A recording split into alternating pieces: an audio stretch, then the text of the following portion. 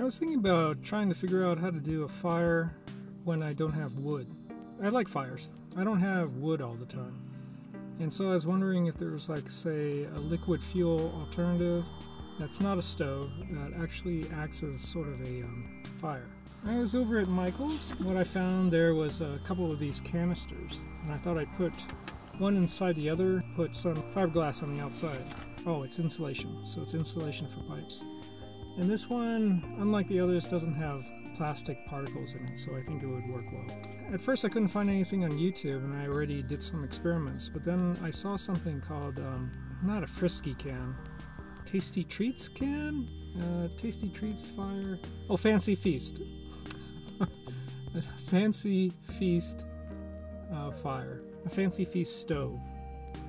So basically it was the size of a, um, a Fancy Feast cat food can, and inside it you would put an energy drink can, and then you can have a little fire. I didn't think it would be big enough. What I wanted was to supersize it into something a little bit bigger. Maybe not too big because I have limited space in my truck.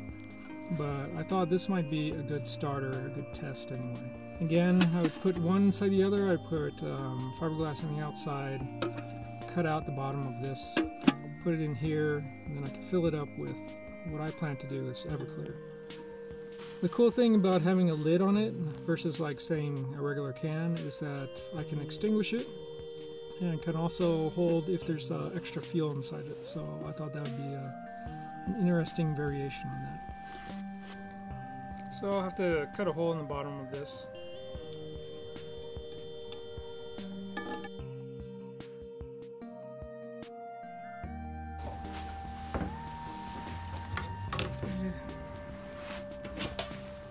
Can. Fiberglass on the outside.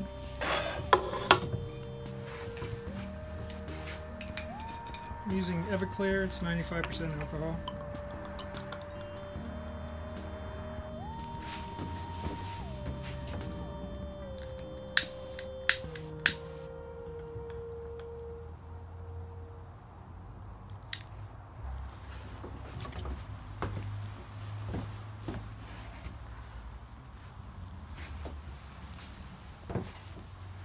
Pretty warm.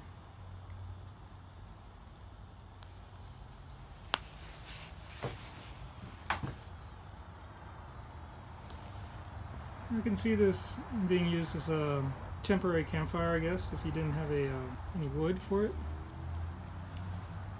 Doesn't give off a ton of heat like a bonfire would, but it definitely gives off significant amount of heat. And with the lid, you can close it and it snuffs it up, which also allows you to reserve the um, extra fuel that's inside it.